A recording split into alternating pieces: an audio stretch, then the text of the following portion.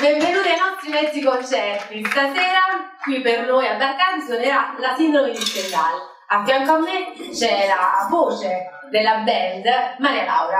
Maria Laura, quando è nato questo progetto e come? Allora, il progetto è nato circa due anni fa e l'abbiamo, abbiamo pensato in realtà io e il bassista e mm, volevamo fare appunto un progetto diverso dagli altri, non portare la, musica rock e pop nei locali, bensì una musica blues e soul che fosse soft ma ovviamente arrangiata eh, a modo nostro eh, per, per farci conoscere, per, per essere singolari. Ecco, Questo è il fine. E, e poi ovviamente abbiamo cercato tutti i componenti. E, Siete tanti. sì, siamo, siamo in sei. del gruppo. Sì, sì, io alla voce, Maria Laura Madra, al basso Salvatore Petta, alla chitarra Mario Desio, alla tastiera Alfonso Genovese e mm, alla batteria Emanuele Noschese e poi alla tromba Armando Giordano. E diciamo che la tromba è un po' la nostra, la chiamo la nota dissonante del gruppo perché fa tanto rumore però dà anche quel pizzico di originalità in più e quella marcia in più. Ecco. Stasera cosa ci proporrete? Più cover o inediti? Uh, stasera vi proporremo delle cover, ovviamente arrangiate a modo nostro. Eh, per quanto riguarda gli inediti, sono ancora in cantiere anche perché ehm, insomma, per noi sono importanti ed è un passo importante. Quindi piano piano ci, ci arriveremo e, e speriamo. Uno dei prossimi progetti. no? Sì, sì, sì, sì, sarà uno dei prossimi progetti. Sì. Siete social?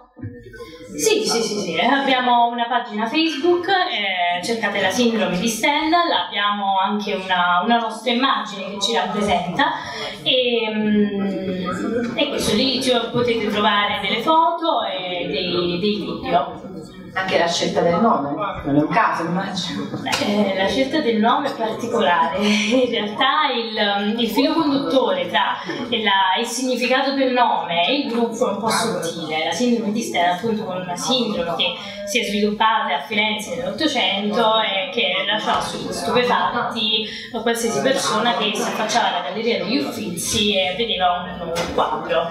Allora noi appunto vogliamo il fine è proprio quello di, di creare la stessa, lo stesso stupore e la stessa emozione in cui ci sediamo. E poi ci piaceva anche perché era un po' strano, un po' è singolare e ci piaceva anche dare oggetto, la verità. Ah, quindi Eh, sì. è una citazione. Sì, anche, anche. Grazie mille, Maria Laura è stata eh, grandiosa. Io a parte ne sono rimasta affascinata, prima facciamo riunione per Sbarcavi, eh, ascoltarti anche adesso la- una voce molto molto bella e coinvolgente. Grazie. Quindi in bocca al lupo per tutto. Grazie. Io vi ricordo che la- il concerto è audio ripreso da Luma Studio eh, grazie a Mario Allucio e l'intervista e eh, ci sarà un reportage fotografico a cura di Lightroom Studio.